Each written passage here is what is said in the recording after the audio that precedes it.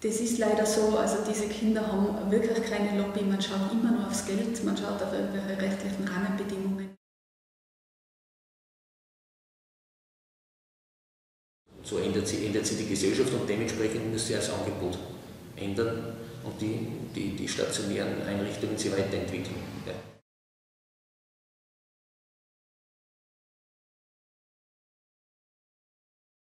Diese Generation wird genauso wie die jetzige Generation oder die Vorgeneration irgendwann einmal die Gesellschaft tragen müssen. Also das ist definitiv eine Investition in die Zukunft. Und wenn man heute sich anschaut, man weiß eh, was ein Gefängnisplatz oder sowas kostet, ähm, und das vermeidbar ist, äh, ist es auch finanziell ein enormer Vorteil für die Gesellschaft. Aber wir brauchen eine nachhaltige Politik, wir brauchen eine Politik, die länger wirksam ist.